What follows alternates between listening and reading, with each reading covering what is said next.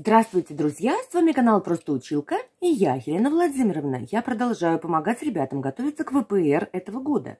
Сегодня разбираем задание для шестого класса. Это задачи на проценты.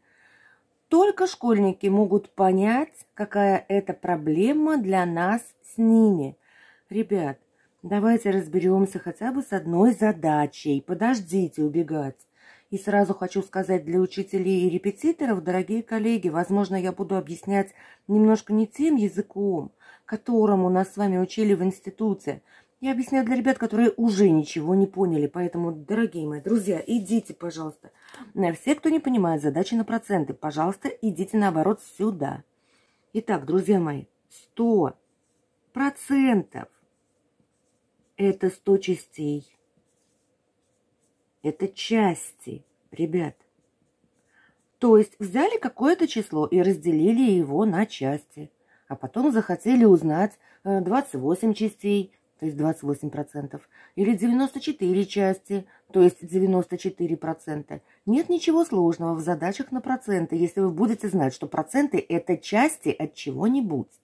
Но все равно приходится включать голову в некоторых задачах. Вот здесь ее придется включать.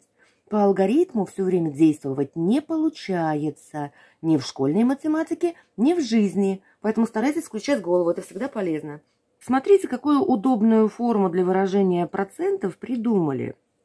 Мы как будто бы пишем, например, 1% из 100.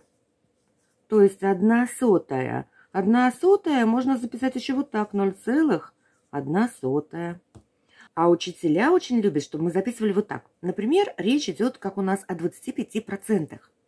А, я бы вот так записала. 25 из 100.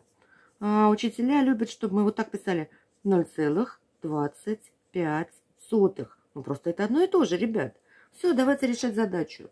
Почитаем сначала. Путник собирался пройти 40 километров. Угу первый день он прошел 25% пути, а во второй на 20% меньше, чем в первый. Вот тут придется думать.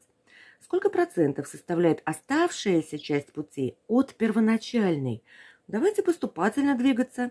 Путник собирался пройти 40 километров. В первый день он прошел 25% пути, то есть от 40 километров он прошел 25%. Берем 40 и умножаем на 0,25. Кто сейчас в уме быстренько не справился, тот на листочке уже умножил. Только что выяснилось, что в первый день он прошел 10 километров. А вот теперь со всем вниманием читаем про второй день. А во второй день на 20% меньше, чем в первый. Многие ребята не понимают, что вот эти 40 километров и эти сто процентов в первом действии, которые мы сделали, когда 40 умножали на 0,25, они себя отработали. Наступил следующий день, и наступили следующие сто процентов. Теперь сто процентов – это тот путь, с которым сравнивается путь во второй день. Во второй день на 20% меньше от чего? Чем в первый. А в первый сколько? Вот, в первый же 10. Значит, теперь мы должны будем взять 10. А на что мы будем умножать? Многие потянулись умножать на 0,20, то есть на 0,2. Но это неверно, ребят. Он прошел на 20% меньше, чем в первый. А если в первый он прошел 100%, то на 20% меньше это сколько? Это 80. Вот где нужно было докрутить. Поэтому я 10 умножу на 0,8, потому что он прошел 80%, а не 100. А при помощи 20% нам это как бы подсказали. Хотите сказать, что и запутали, да? Ну, ничего страшного, выплывем. Итак, 10 целых умножить на 0,8 будет 8 километров.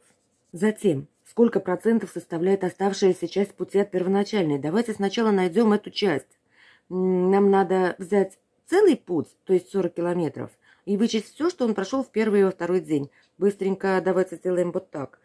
40 мы вычтем 10 плюс 8 равно 18. 40 минус 18 получается 22. 22 километра. Это осталось ему пройти. А вот на последней фразе поплывут многие. Сколько процентов составляет оставшаяся часть пути от первоначальной? А, то есть надо соотнести остаток с началом.